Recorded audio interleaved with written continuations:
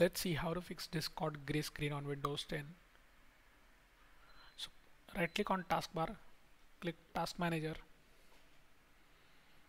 Now find discord process.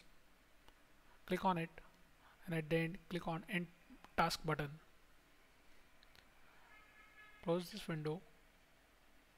Now press windows plus r key together to open run window. Now type this command there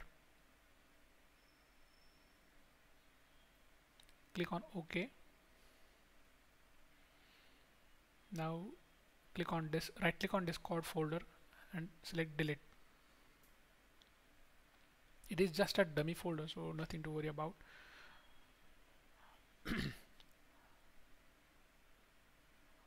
Now click on start menu click on settings.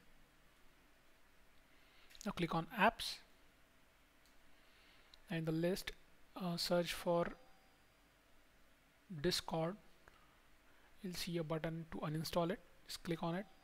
It will uninstall discord.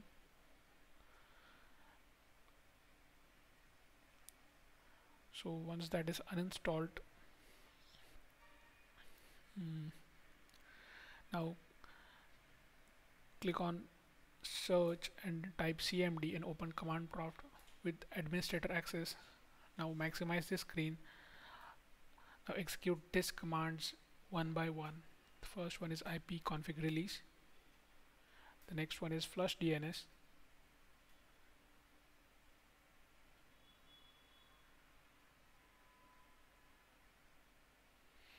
so once this we need to again execute another set of commands. Again open command prompt with administrator access.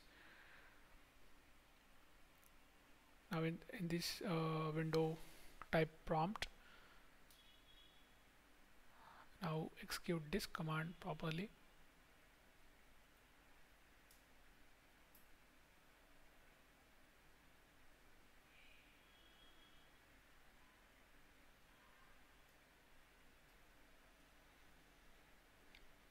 This was for scan file.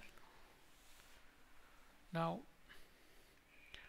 open Chrome search for discord download. Open discord website. You will see a button to download discord for windows. Click on that.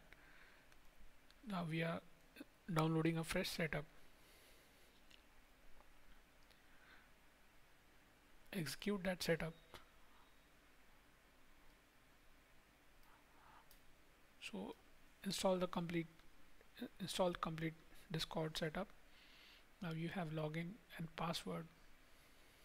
Now enter your details there. And that's it you're good to go. It won't show any error